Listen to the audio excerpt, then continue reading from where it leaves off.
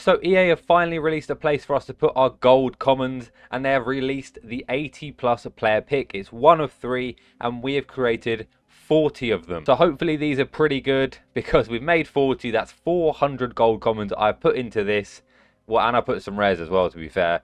So hopefully it pays off. We want a few team in the seasons. We want Neymar. That is the main goal as you will already know if you watch my Weekend League rewards video.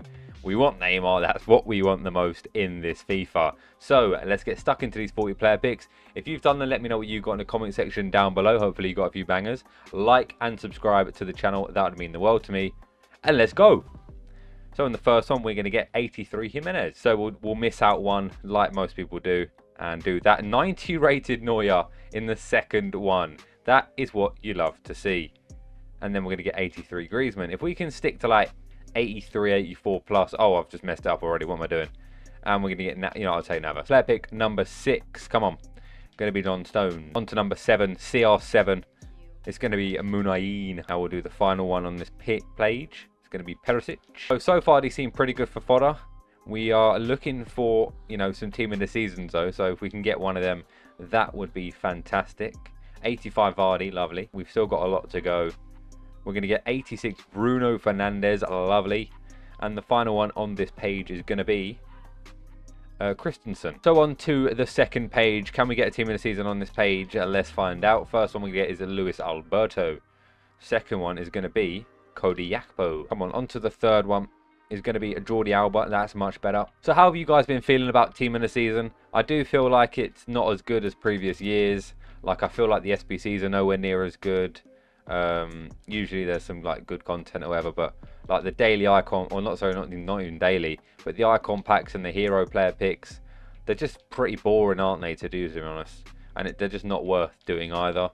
But uh, yeah, what do you guys think? Leave your opinions in the comment section down below. I'd love to hear. As we're going to get Toni Kroos, lovely. But hopefully, maybe after team of the season is usually when like shapeshifters comes, and that's pretty good as well, isn't it? And the final player on this page is Marcos Llorente. So this is the third and final full page. I believe there's a few on the last page, but not many.